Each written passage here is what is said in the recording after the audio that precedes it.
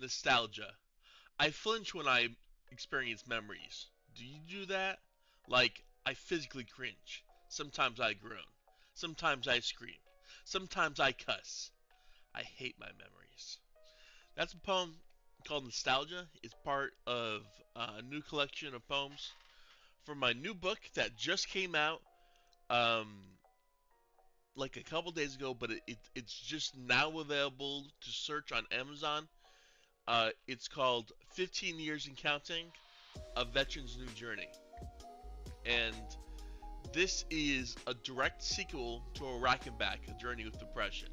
So if you liked that book and you liked the raw, untamed, unhinged, driven emotion that that poetry book had, this poetry book will just be just as good. Um, yeah, it's called 15 Years of Counting. Um, a Veteran's New Journey. Uh, it's got 10 more poems than the Iraq and Back had, but it's got no art, unfortunately. Um, I have like arthritis, my my drawing hand, and it's just it's just really painful to draw these days.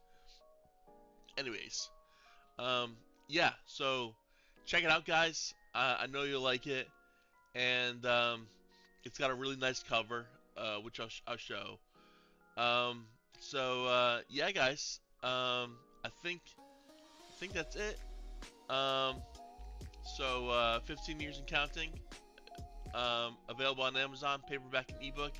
Check it out, guys. Uh, love, love, love writing it. Um, some of, some of my better poetry. Um, some of the best stuff I've written in a long time. Uh, I know you'll like it. All right, have a good one, guys. Bye.